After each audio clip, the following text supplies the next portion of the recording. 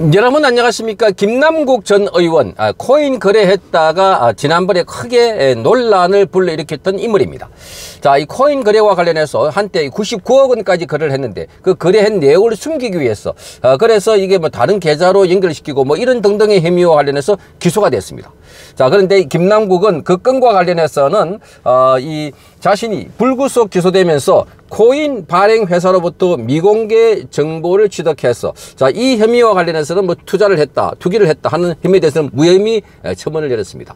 그러니까 코인 거래를 한 부분 그러니까 코인 거래 규모가 100억대 가까운데 이걸 제대로 신고하지 않았고 이 부분에 대해서 기소를 받았는데 그런데 미공개 정보를 이용해 가지고 투자를 했다. 이런 부분에 대해서는 자 이 무혐의 처분을 받으니까 그 당시 언론 보도나 이런 것을 격하게 비탄했습니다. 뭐 X라고 하면서 무슨 무슨 X 등 하면서 언론 보도 어, 그 당시 자기를 비판했던 사람에 대해서 많은 비판을 했는데 그 이런 어, 지금 어, 김남국이 자신의 이 변 말하자면 변명을 하는 과정에서 자 이렇게 말했습니다. 뭐 그는 출석을 하지 않았다. 그동안 뭐 코인 어, 상 그 상임위원회를 하고 있는데도 어, 이 김남국이가 코인 거래를 했다. 화장실에 가서도 코인 거래를 했다. 이렇게 많은 비판을 하니까 자 이렇게 말합니다. 주식 거래도 출석률 20% 아예 30%또 또는 안 나온 X들도 비판해야 하는 것 아니냐 이렇게 말했습니다. 주식 거래도 비판해야 되고 출석률 20, 30% 또는 아예 안 나온 자도 비판해야 된다 이렇게 말했습니다. 그 막내라고 저한테 상임위 마지막까지 자리 지키라고 하고 술 먹으러 회의 불출석한 놈들이 더 나쁜 놈들이다 이렇게 말했습니다. 자, 그러니까 상임위에 자기들은 나머지들은 선배들하고 숨으로 가라니까 너 상임위 지키고 있어. 이렇게 하고 김남국하고 어, 또 다른 후배 이렇게 해서 의원들 한 두 명은 남아 있다고 합니다.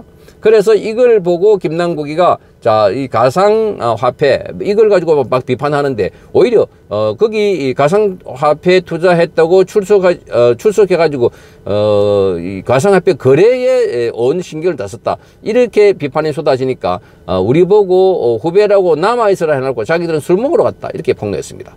자, 국민의힘에도 이런 일이 있을 수 있을까? 자, 이게는 국회의원들의 개별 헌법기관입니다.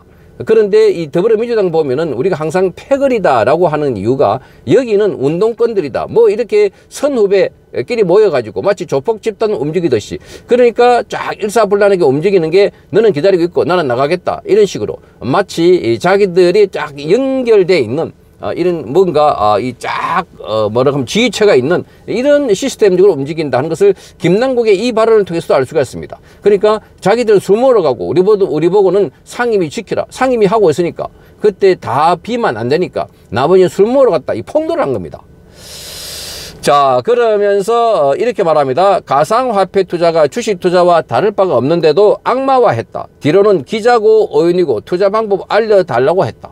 자, 그러니까 기자하고 의원들이고 김남국에 가서 야, 가상화폐 어떻게 투자하는지 투자 방법을 알려달라. 이렇게 말했, 말했다고 합니다.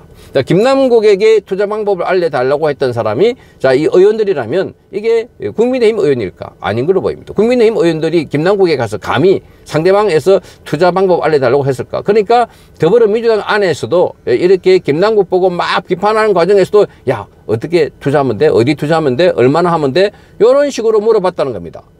자, 진짜 위선적이고 더러운 놈들이다. 이렇게 적었습니다. 자, 이 김남국에 지금 열받았는지 자기 당에 있는 의원들 보고 자, 이 엑스놈, 그러니까 놈이라고 하면서 자, 이, 이 폭, 폭로를 한 겁니다. 그러니까 주식 투자도 하는데 가상화폐가 뭐가 나쁘다고? 그러면서 자 내인 때 가상화폐 투자하는 방식을 알려달라 하고 자문을 구해오는 자들. 자 그거 다 알고 있습니다 당사자들은. 그럼에도 불구하고 김남국은 그들을 향해서 위선적이다 들어온 놈들이다 이렇게 말했습니다. 거기다가 자이 상임위원회 하고 있는데 자 지키고 있으라 끝까지 우리는 수모로 간다 라고 하면서 갔던 사람들. 자 그 사람들 다 알고 있습니다 자, 김남국이가 이 법사위에 있었으니까 그 법사위에 있던 누구누구인지 다 알고 있을 겁니다. 그 당시에 이 최강욱도 법사위에 있었고 누구누구 법사위에 있었고 그래서 최강욱이가 김남국 보고 자 이게 뭐 짤짤이 한다 뭐 이런 이야기를 했다가 그렇게 손 논란이 되고 있는데 예, 이러니까 어, 이들 세계는 그야말로 뭔가 음, 위계 질서가 쫙 잡혀 있는 그래서 이게 국회가 아니다 하는 이야기가 지금도 마찬가지입니다. 이재명의 정점으로 하는 조폭 집단처럼 이렇게 범죄 혐의가 많은 자들이 각종 비리 혐의가 있는 자들이 그냥 이재명이 나타나면 어깨를 촥 늘어뜨리고 허리를 90도 굽히고 형님 하듯이 자 이런 집단이 무슨 정치 집단인가 민주도 없고 그리고 자율도 없는 그렇게 이재명이 지시하면은 딱 일사천리로 움직이는 그래서 여기를 보고 많은 사람들이 비판하기를 어, 그야말로 어, 뭔가 어, 이 조폭 집단 비슷하다. 어, 그리고 어, 동아리와 비슷하다. 그러니까 큰형님, 장한형님 쭉 이어져 오는 그러니까 무슨 이재명 가면 그 개딸들이 막 환호하고 그리고 국회의원들도 위계를 딱 만들어 가지고 누구보다는 누가 위. 그러니까 지난번에도 어, 이 정청래가 법사위에서 자 국민의힘 쪽에 반발한 걸 대비해 가지고 맨 막내인 장경태 보고 장경태 퇴장 이렇게 하면 그러면 우리 쪽에 먼저 모범을 보여주고 나면은 나머지 국민의힘 의원들에게는 세 명까지 퇴장시킬 수 있다. 이 김어준 방송에 나와서 자이 이야기했습니다. 정청래가. 그러니까 거기 안에는 자이 장경태를 그야말로 자기 밑에 있는 쫄로 보는 겁니다. 그러니까 국민의힘을 견제하기 위해서 하나의 수단으로 보는 거다. 그리고 장경태 보고 이렇게 싸우라면 또 싸우고 저렇게 하라면 저렇게 하고 그러니까 여기가 어, 자율적인 독립적인 헌법기관으로서의 국회가 아닌 것이다. 이렇게 알려주고 있는 것 같습니다. 자, 그러니 지금 김남국이가 폭로한 것처럼 자, 자기들은 술 마시러 가고 우리는 상임이 남아있으라 해놔놓고 또 주식 투자, 아, 코인 투자 어떻게 하면 돼 하고 직접 물어놔놓고 나중에 문제가 생기니까 막 공격해가지고 그래서 김남국이 탈당했다가 나중에 다시 어, 복당을 한 겁니다. 자, 그러니까 지금 여기 보면은 얼마나 썩었는지를 잘 알 수 있는 대목이다. 그러니까 코인 욕을 하면서도 코인 투자하는 방법을 알려달라. 그래서 김남국 보고 어, 그런 이야기를 했다 이렇게 말하고 있습니다.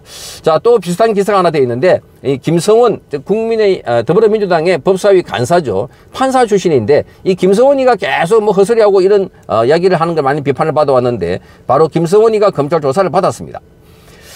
자 법사위 간사로 있으면서 어, 지금 보니까 어, 지금 음, 검찰이 조사를 받는 2021년도입니다. 2021년도 문재인 때 코로나 한참일 때 치료제 임상시험 승인을 받기 위해서 평소 김성원이 막이간 사회로 알려진 브로커 양모 씨에게 자, 이, 그, 국내 바이오 업체 지사, 바이오업체 지사의 설립자인 강모 교수가 이 브로커에게 9억 원을 전달했다고 합니다. 브로커. 코로나, 어, 코로나, 아, 이 치료제.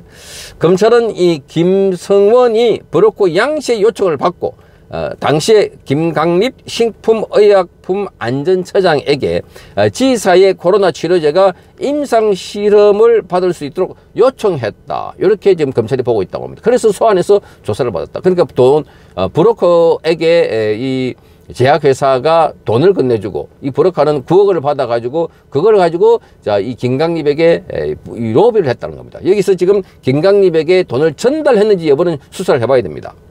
자, 그래서 그 김강, 어, 이 김성호는 검찰 조사에서 국회의원으로 관련 민원을 전달했을 뿐이다. 로비한 건 없다. 이렇게 밝히고 있습니다. 자, 그래서 검찰은 어, 이런 진술을 분석한 뒤에 구속영장 청구 등을 검토하고 있다고 합니다. 자, 그러니 지금 나와가지고 온갖 고함을 지르고 고성을 지르고 온갖 갑질을 하고 천하의 에, 이 정의로운 사람은 우리들밖에 없다 했던 자들 조금 한꺼풀만 벗겨보니까 비리, 비리가 투성이다. 어, 이런 걸 알 수가 있습니다. 자, 김남국도 그렇고 김성원도 그렇고 이들 모두가 사법 처리를 해야 되지 않을까 그런 생각이 듭니다. 성창경 TV였습니다.